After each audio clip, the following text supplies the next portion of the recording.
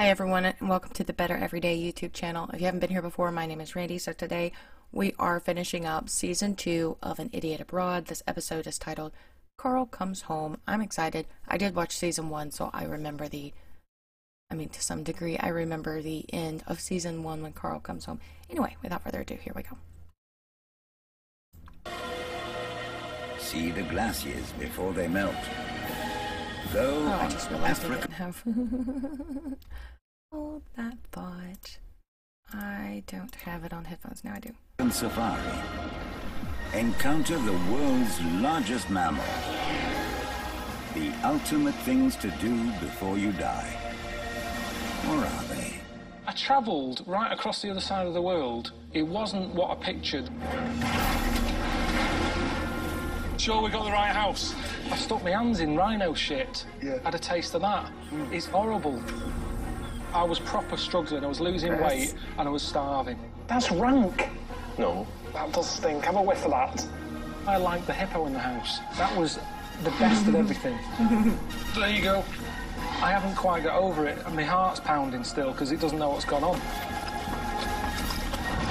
And that's what you're like with this trip. You've nearly done me in. That part was so funny. Hello, and welcome to episode 8 of An Idiot Abroad 2. I'm Ricky Gervais, with me Stephen Merchant, Hello. and the star of the show, the little round-headed twonk, that is, Karl Pilkington. What did you Alright. just call him? Well, Karl's been around the world again. Um, thank you for your questions. We're going to get to those. Uh, but first, I want to ask, why did you do it again? You swore you'd never do it again. You swore on camera. It's a job, innit? Just got to earn a living. I'm in a programme called Idiot Abroad. Job offers aren't, you know, whizzing in.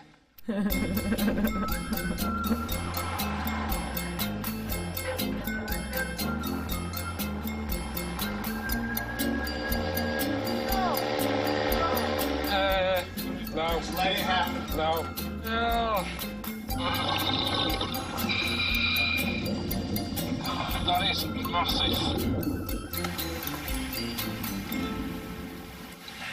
You Oh, I forgot about that uh, chose episode. the opportunity to be on a desert island, private island. Um, how did you find that experience?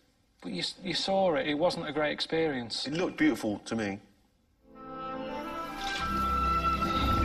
Fucking freezing. I do think that would be really It's just cool. a bad start. It's like moving on a rainy day, this. I thought it was going to be sand. It's all bloody rock. I travelled right across the other side of the world.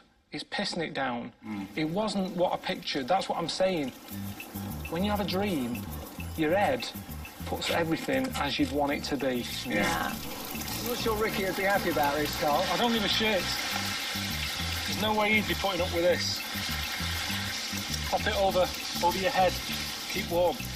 To be fair, stuck on a little island, dressed in leaves, with it lashing it down, and you having to build a shelter like a chimp in a tree with gaffer tape wasn't my idea of heaven either, to be honest. No. Yeah. In my head, I was picturing A bounty advert. A bounty advert. That's what I was picturing. White sand, blue sea, couple of palm trees, Half Yeah. a coconut with a bounty. bounty in it. But the point of that is, Bounty on as the bounty bar? advert, it's 30 seconds. She's loving that bounty. Mm-hmm. Bet she was pissed off after she'd eaten it. and that's, that's the reality of it. Yeah. You don't look at the bigger picture, you go, that looks nice, and then you move on. One thing I've always wanted to do, and I hope I will get a chance to do it, which you did, the swim with sharks. It looks amazing. That's all right, yeah. Good. Okay. Thanks for that, mate. Yeah, You- cheers. You Brilliant. brought that to life. Thanks. You can ask me how to paint a picture. It's hard though. Other people will always have their experience of it, and Yeah. it's what they thought of it. Yeah. This is mental, this. I can see him. Look at him. But, but tell us your experience, how you felt. Right, I felt sick. I'm not very good on boats. I thought I was going out for a night to see a dolphin. Hmm. It turns out it was two nights on a boat to see sharks. Yeah. Well, I'm not great on boats. I was in a room that stunk of prawns. I thought everybody's room smelt like that until someone came in and said, Jesus, what's gone on in here? See, the thing is, people are only thinking these things are good because they've seen it on the telly. Hmm. They don't see all the work that goes into see it, all the the hassle, 10 hour the trek. work. Yeah. That's what makes it so good, though, is the is how you imagine reward No, for the work. no, I didn't. Oh, fucking hell. Sat there, these nature programs that are getting a gorilla sat in the thing with its family and they put nice music on it. All the sounds and stuff. Gorillas traipsing through with the family. Oh, look, it looks amazing. Body popping. It's in bright, sort of bright, you know, HD. Oh, that's amazing. I'd love to be there.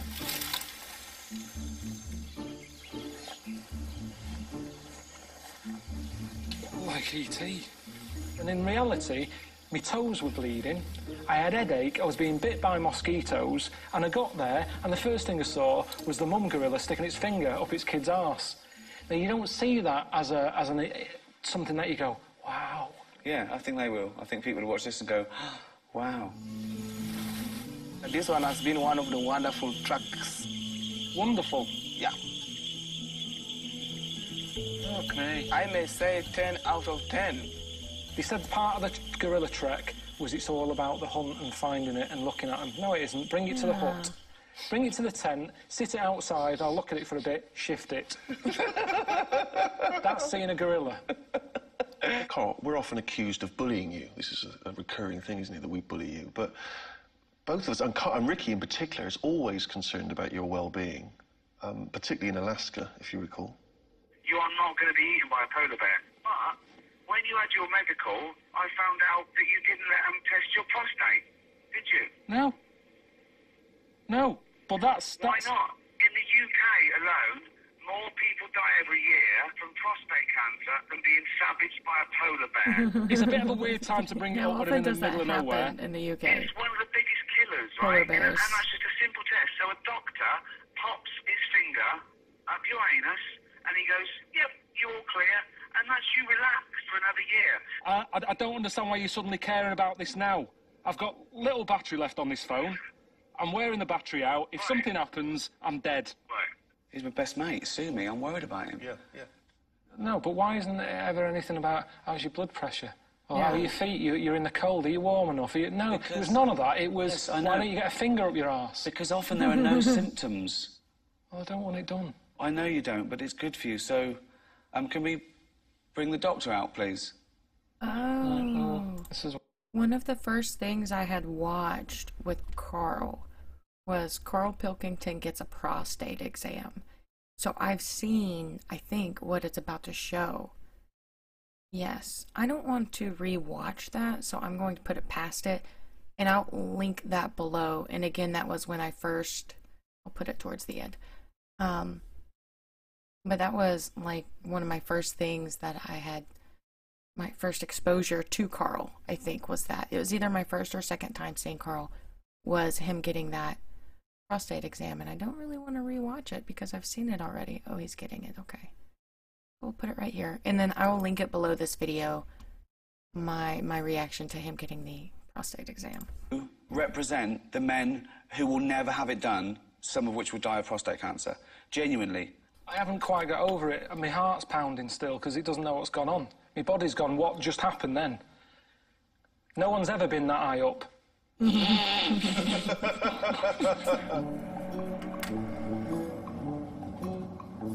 so you're a human magnet. Mm-hmm. magnet. Ma- Magnet. ma- magnet. So tacky. Look, they're not even, they're not special or anything. What is going on? I've never heard of such a thing. Handy when out shopping. When, when you go food shopping. Carrier bags these days are really weak. Very thin. He comes out of Waitrose. Done. I can't think of anything where you go, brilliant. I'm a magnet. When do you need to be a magnet? Well, what superpower would you like then? I came up with one. I'd be bullshit, man. There's so many meetings going on where you know people are bullshitting. I just like to walk in. I wouldn't need a special costume. Just dress like this, and I'd fly in. I'd go bullshit. You're talking bullshit, and they'd go, "Oh, it's bullshit, man." And I go, "Yeah, I, it is bullshit, man. You're talking bullshit." And eventually, people would stop talking shit. That, that could That take off. nice. I quite like. I, mean, I know you said you didn't want a costume, but if I could get a little costume for you, what colour would it be? I don't need a costume. No, but you don't need it. But if I got one for you, what would it have? No, I don't need all that because that's just wasting time. That's more I- I bullshit. can't- How do we know you're bullshit? man? How do we know you're bullshit, man? Because I flew in. What, you, so you can fly. fly. So your superpower is saying bullshit, but you can also fly. Yeah, but but also people know if I've said it's bullshit, they know they were talking bullshit. Yeah, yeah, but but wait. That's my Wait, no, no, no, no, no. Your superpower is surely flying as well. You didn't. You didn't. We can all say bullshit. No, no, Yeah. the flying is necessary because of the amount of bullshit that's going But on. if you the could fly, But if I can't fly, how am I going to get around? There's loads of bullshit. what are you going to do? Keep jumping in a cab? No, wait. I'm going to be busy all day. I haven't invented this. It's not my fault you can or can't fly. No, Calm down. I know, but I'm saying if it was my superpower, I'd want to fly in. Yes, my And I don't want a costume because I'd be constantly wearing that costume No. because of the amount of bullshit that's being said. Yes, I understand that. So you, so your point is this: everyone can tell bullshit, but you need to fly to get there quick and get it out in the open. Panic quick? Yeah. Someone starts spouting How the can you hear them? So you can also be super hearing as well. Yeah. So you can hold on. So wait a minute, right? Can you see? Can you see where they are, or can you just? I'm just hearing it. So if there was a meeting, right, going on in Leeds now, and there was a bloke going, well, if you invest in this company, if you give me one million, I can guarantee you, you will make an extra million Right. by the year, and I will double, I will Oh, yeah, yeah. double your investment in one year. What? Bullshit. That's how it would work.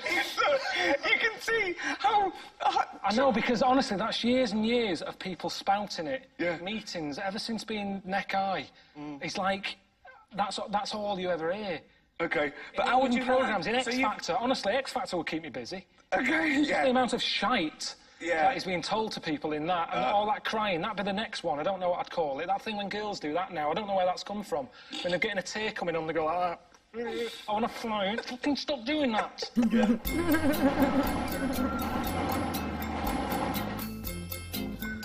We all do. Fucking hell, that does stink. Have a whiff of that. Oh no, it's, it's not not how to say, but smell. It's good smell. That's rank. No, It is. no. I've found that I've enjoyed food more since I've got back from Japan. Because you appreciate. Just nice food.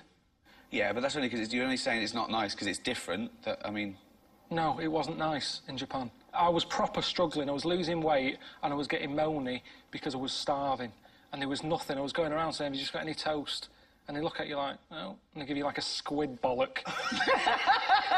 There's just nothing. That's for breakfast. Yeah, yeah. It's not like they save the weird shit for, for tea. That's breakfast. They start you off with weird stuff. and the hard stuff. And do you know what? I hmm. didn't tell them, the people who were away with me, but I was struggling that much. On two mornings to try and get through it, I was eating strepsils because I was it? found that my, my taste buds went numb and they didn't have a clue what was going on. And I just was shoving stuff in. Have a big bit. Have a little big bit. Have a big bit. Don't start saying you don't understand me now. Oh, I'm going to be sick. There's something in the middle of it that's really grim. I'm going to be sick in your Japanese garden. Pretty good now at just shoving anything in. I've eaten geckos. I'm not that fussy. I've stuck my hands in rhino shit. Yeah. Had a taste of that. This isn't me being a bit, ooh, mm. it's fucking horrible. Yeah, that was too Anyway, far. that's, that's like the, the start of sushi. That's where it all began with that.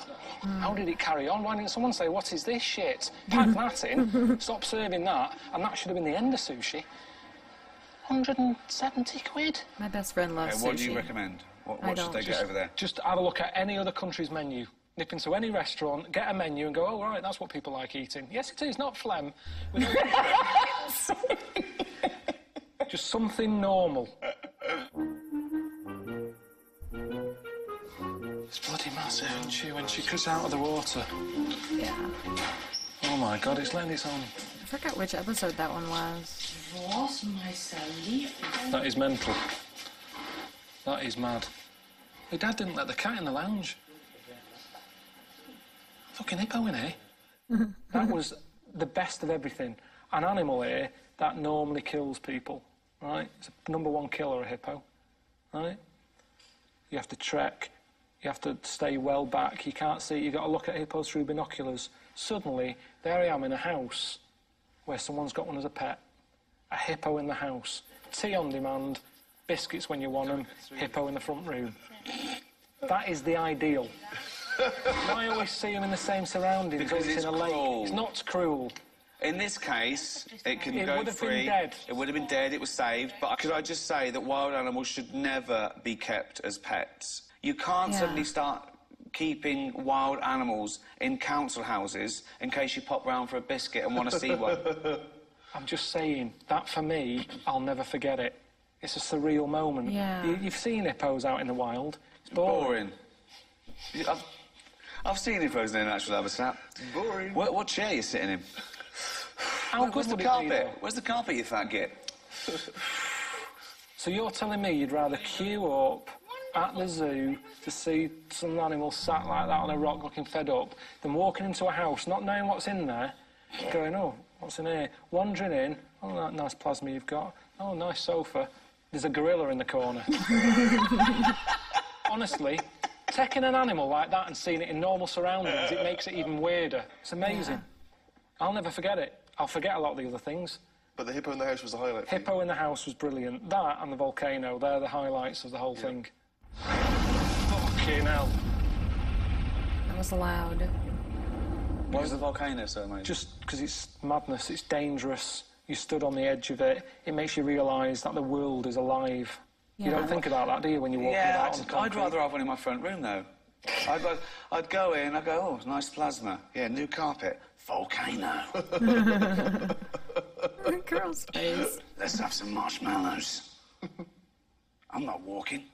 I've got one here. Why is he doing cross-eyed? He's got little ears, long arms, short legs.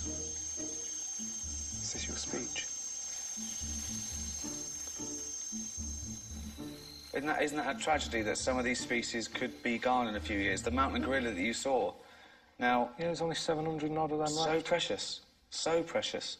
And yet you didn't really want to trek for it. You'd have rather it came round your house. With I a wouldn't of want them biscuits. wiped out. We're saying they're the closest thing to human. So what's wrong in having them in your house? That's a very human thing to do. Treat them like a human if they're very close to being human. Come on in. Sit down.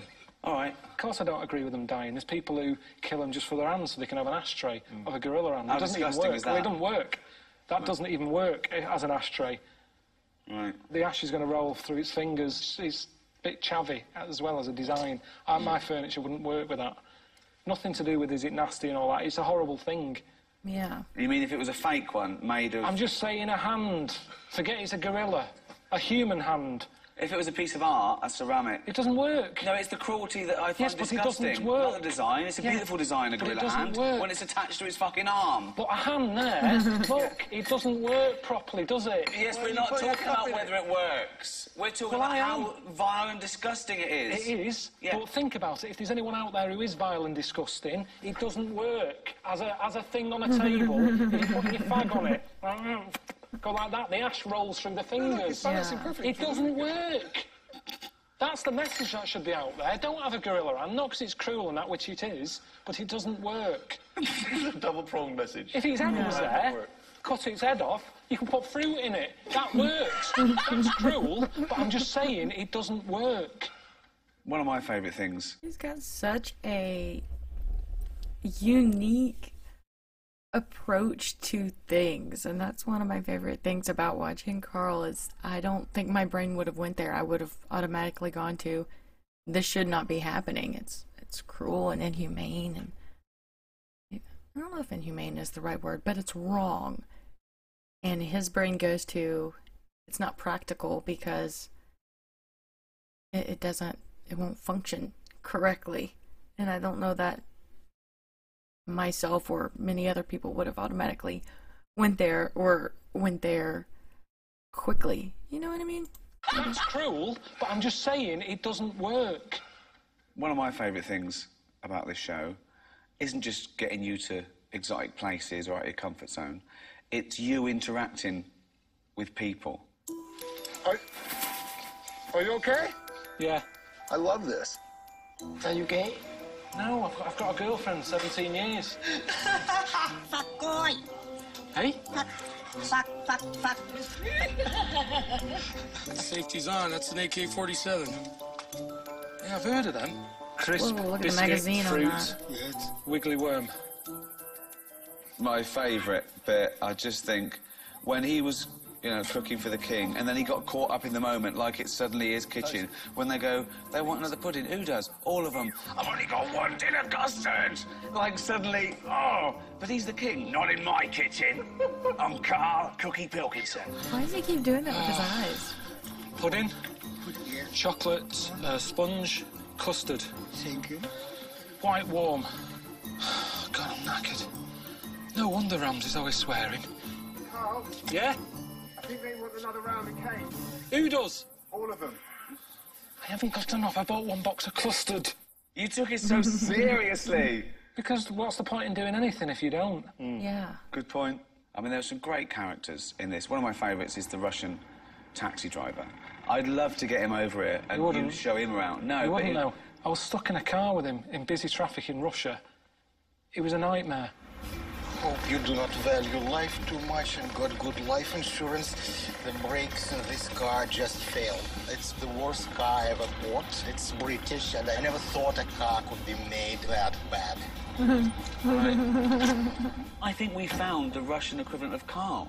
It's because I was stuck in a car with this miserable bastard.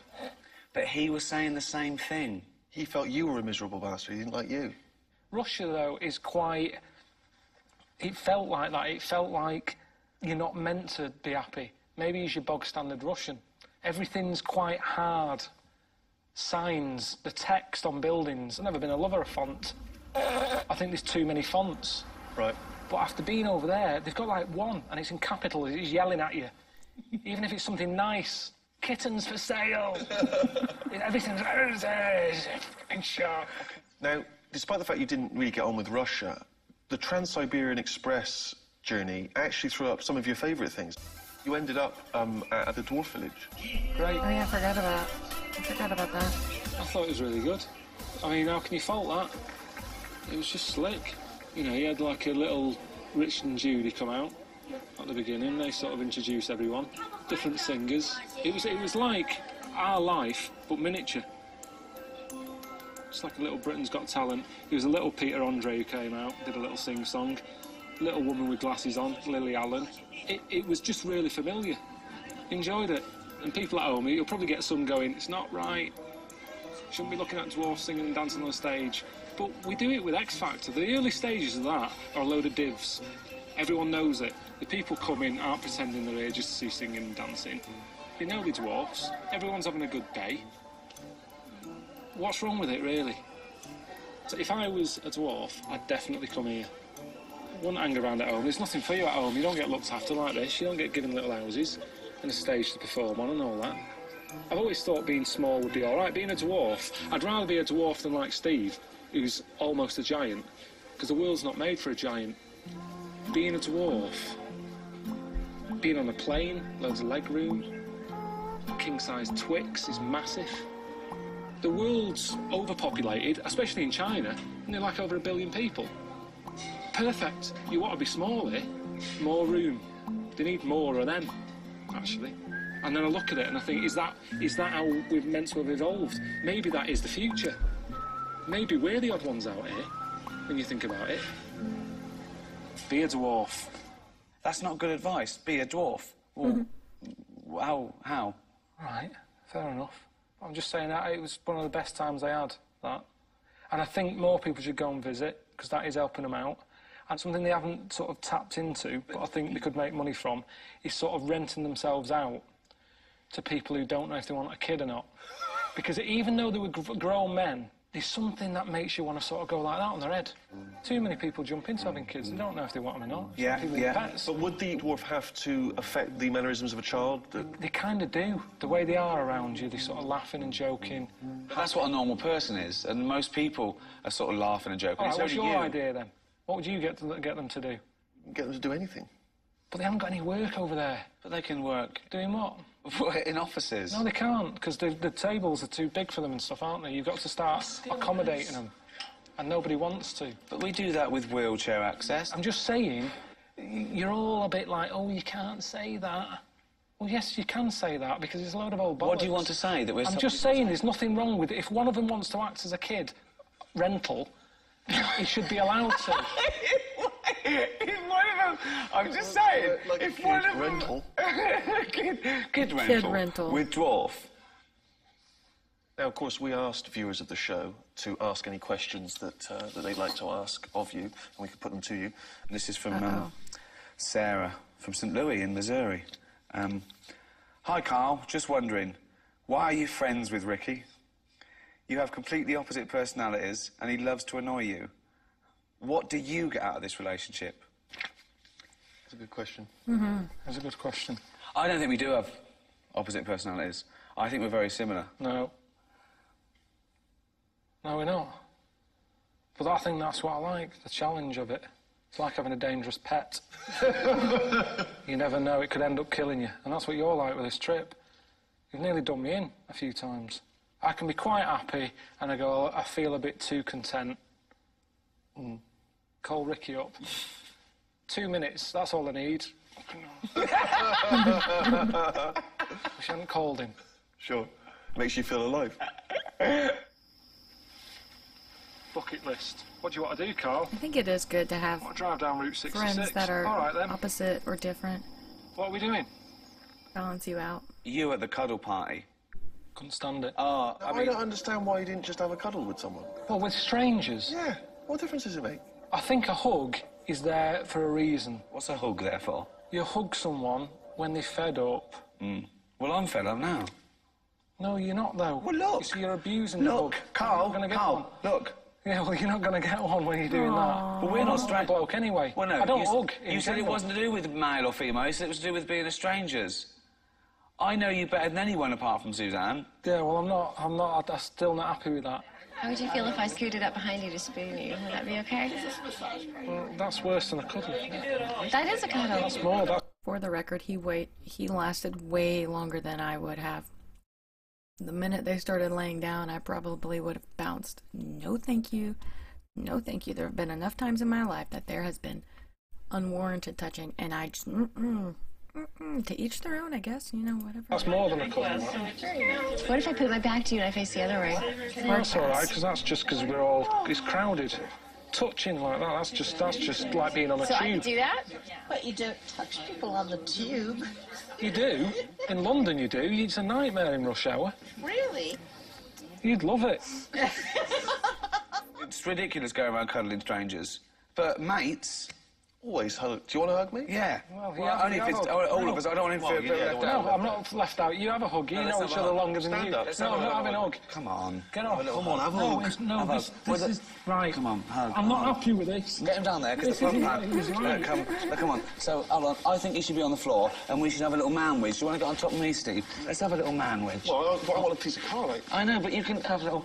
Love man-wedge. Oh, those... Oh, see? Okay, now I think I've got an erection. I think got an erection. Oh, God! Well, if you've got one, I have too, Steve. Is that Frank again? What What is it, your program? The programme? The program, the name, Idiot Abroad. the board. Idiot Abroad. Idiot. It is I'll write it down. uh, idiot Abroad. Uh, ab abroad. Abroad. Idiot abroad. That's the program. The name of the program. Oh, โอ้ชื่อแปลกๆเนาะ Idiot abroad. Yeah, don't shout Idiot, about it. Idiot abroad yeah, the yeah. name. I know, I didn't want it. It was oh. meant to be Karl Pilkington's 7 Idiot. One. Yeah, I know. Abroad. Yeah, yeah, it's not good. Idiot, name. Yeah, there's the name. Yeah. Idiot. Mm. Div. Knobhead no pet. Yeah. but I'm not. I'm not idiot. Uh, yeah, It's yeah, just a friend came up with the You title. are not idiot. No. Just, you know, just only the name. I know, I know, I know, Ah. but ignore the name. Idiot abroad. Yeah. Okay, okay.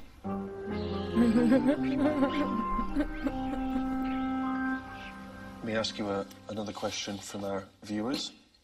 Here's one from Gareth Sutcliffe, and he says, Karl, French novelist Marcel Proust once wrote, The voyage of discovery consists not in seeking new landscapes, but in having new eyes.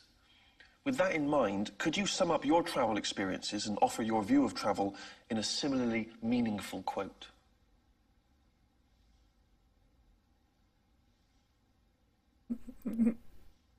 That would be a tough one to come up with on the spot. Don't piss ass about travelling, getting jet lag, eating food you don't like. Shut your eyes and imagine stuff. Well, beautiful. Wonderful. I've had the shits.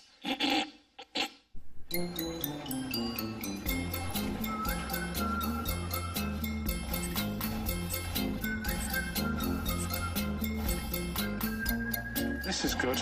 Cools you down. That's going to give you a headache, not get rid of one. Look how complicated it is just for a toilet. you have the, the skill of Bill Gates. Just have a shit. You can't do any of that. Can't do that stuff. But it's a robot.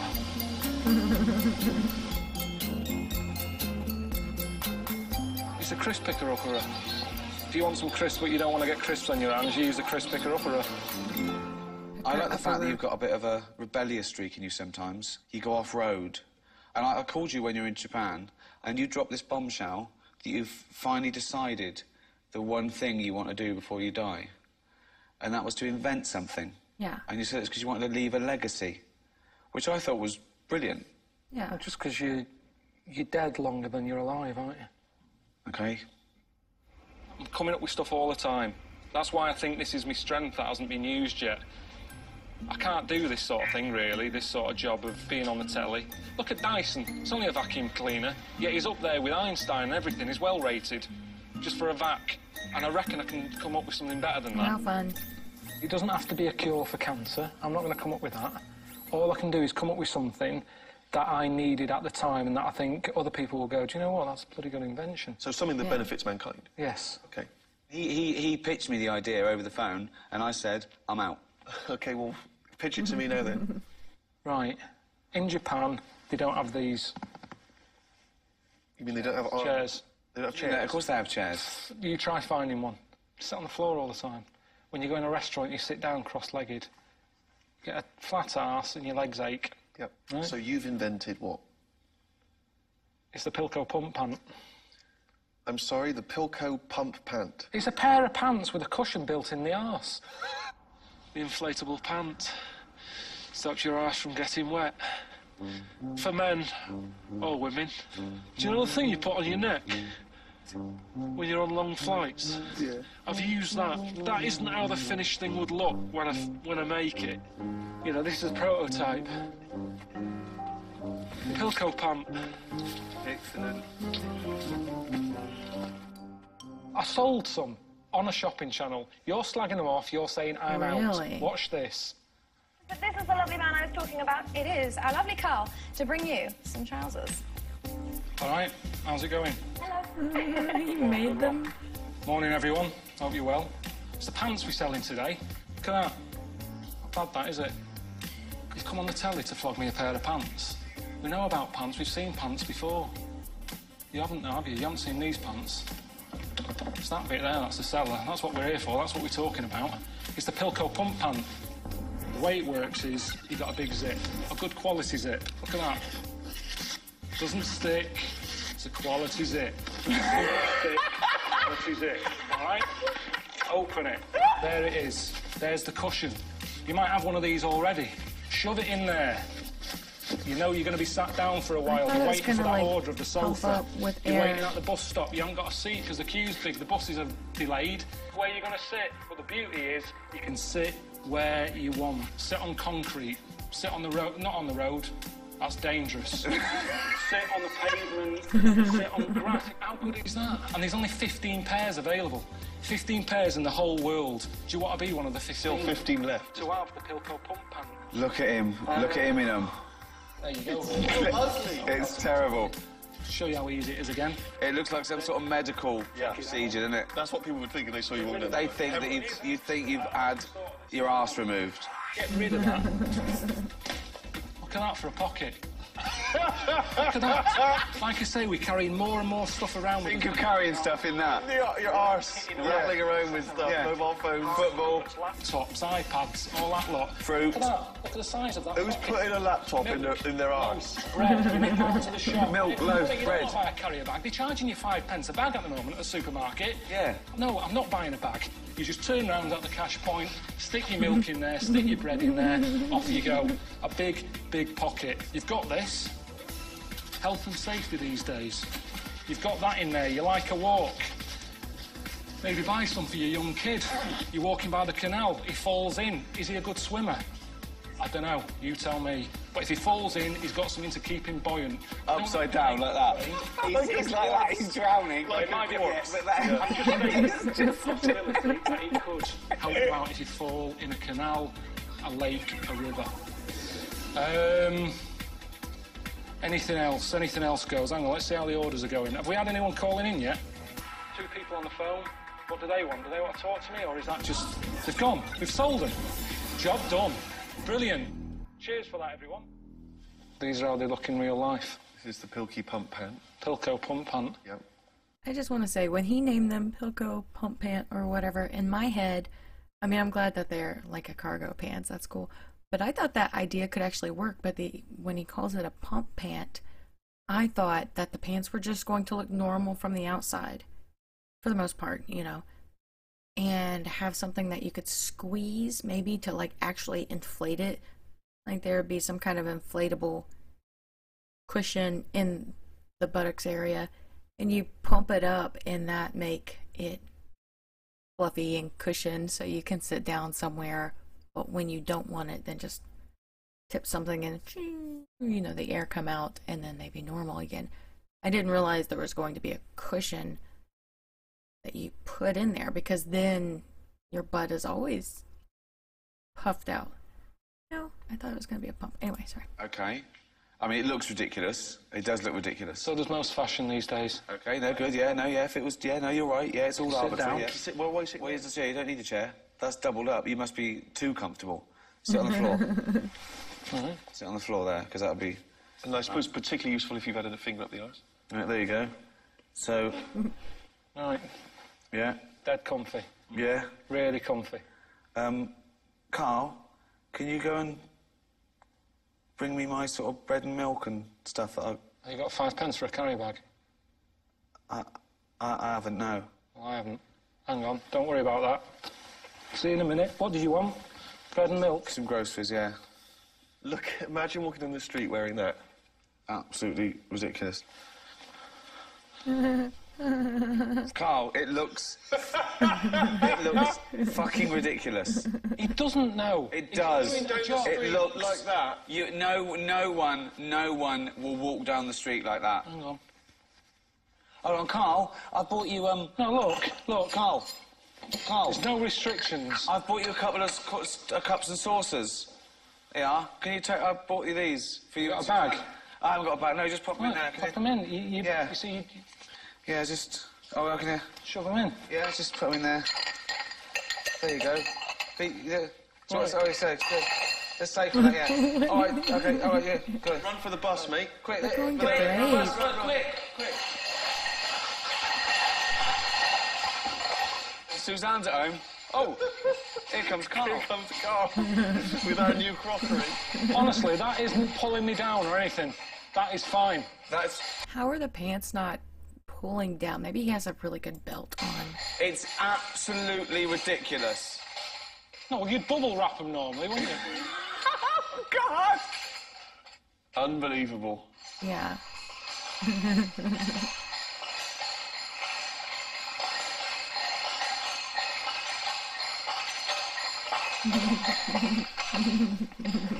Right. Wow. I just want to say, Karl, I was impressed all the way round with the stuff you've done. I like the fact you didn't do stuff you didn't want to do. I thought it showed um, real drama and resolve. You weren't just a puppet. You weren't just an idiot, an adrenaline junkie. You were doing things that mattered to you. Um, is there anything though you didn't do that you wish you had? If you could do it again, would you go? Do you know what? I will do that now. I will bungee jump, or I will. Is there anything you wish you'd have done that you didn't? In Japan, I wanted to do karaoke. What would you sing? Do a bit of um, Chas and Dave.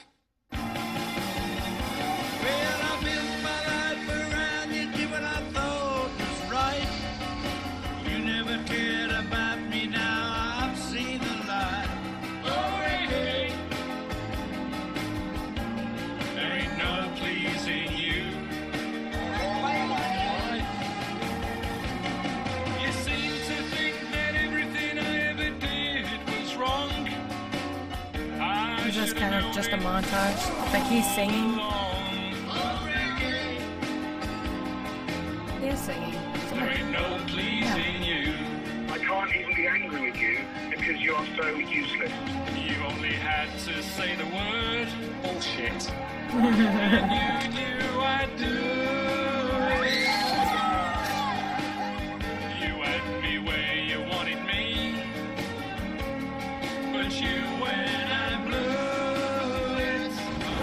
Fucking hell. now everything I ever done was only done for you.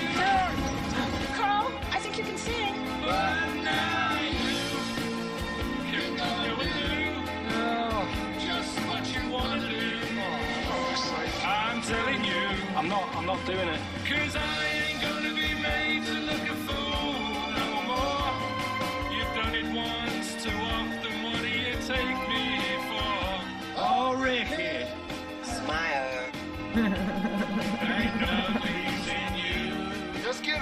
keep rolling. You can do it. Yeah. And if you think I don't mean what I say and I'm only bluffing, Yeah. you got another thing coming, I'm telling you that for nothing. Oh, Ricky, I'm a Fuck me! That's what I'm gonna do.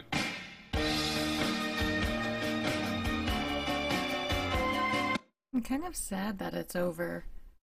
I want to let the credits roll because I know a lot of people put a lot of time into creating this show.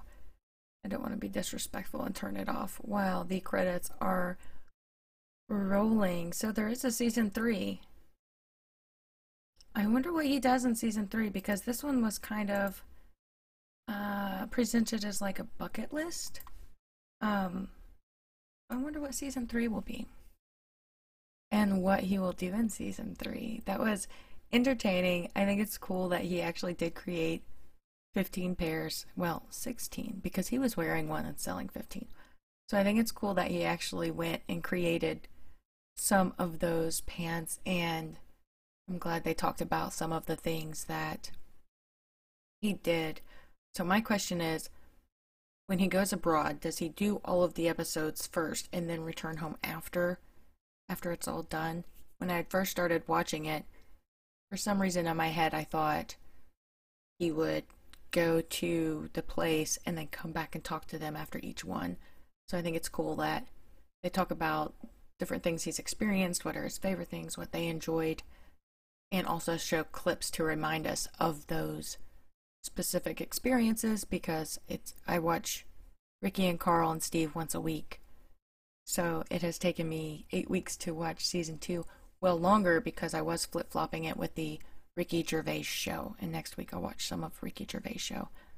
Anyway, I enjoyed it, so thank you very much for tuning in, and I'll see you next time. Have a good one.